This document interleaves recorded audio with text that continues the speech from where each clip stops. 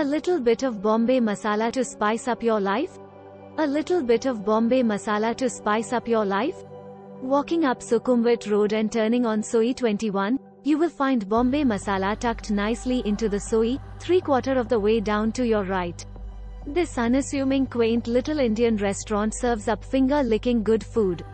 We had pre-ordered our lunch which came out hot fresh and ready to discover all the amazing different entrees we tried. The first we got was chicken pyaza, means chicken onion. The chunks of chicken that we received were super soft succulent and tasty. What I loved about it was a serving of the onions that came in some slightly sweet salty mix.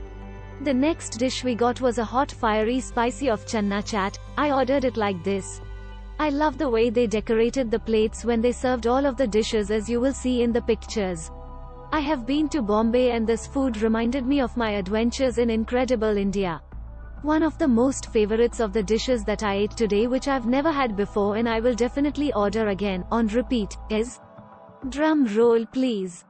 The Hara Bhara Kebab.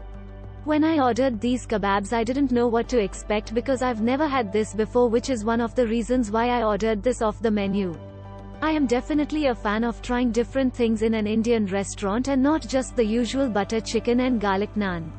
The Hara Bhara kebab is vegetarian kebabs made with spinach and spices.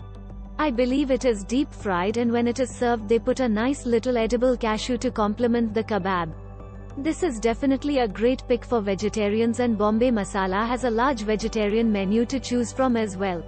We also had fish Amritsari style. These huge chunks of fish were light, flaky and delectable. It went so nicely dipped in the mint chutney.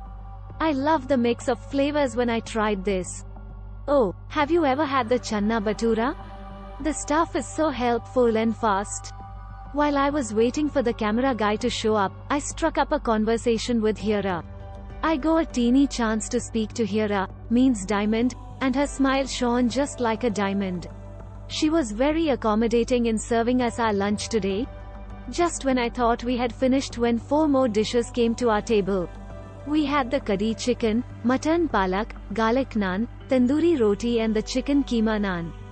I definitely needed to take this home, Kadhi chicken, it was perfectly saucy, loads of onions, spices, soft chicken pieces and paired with delicious garlic naan. Or you could have had the tandoori roti as well, all truly delicious. Chicken keema, ground chicken, naan, if you want to just have a snack and some great Indian chai, this is the perfect savory snack to get. Even though it's not in the appetizer category on the menu. You can order a chicken which comes cut up in four pieces almost like a quesadilla. This is the perfect snack to have with your tea did you satiate your appetite for dinner or lunch. The mutton palak was one of my other favorite dishes to try, however I like it with the tandoori roti.